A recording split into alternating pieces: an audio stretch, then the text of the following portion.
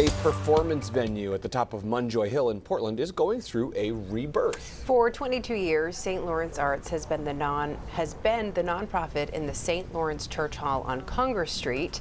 Organizers are changing the name to the Hill Arts and renovating the building inside and out. Part of their mission will be to nearly quadruple capacity by creating a 400 seat theater, which they say will fill a need in the performing arts community.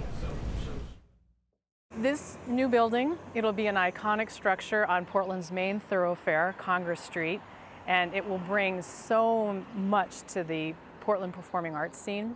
And another part of it is that it will help to continually support the Parish Hall Theater, the historic structure part of the St. Lawrence that does survive.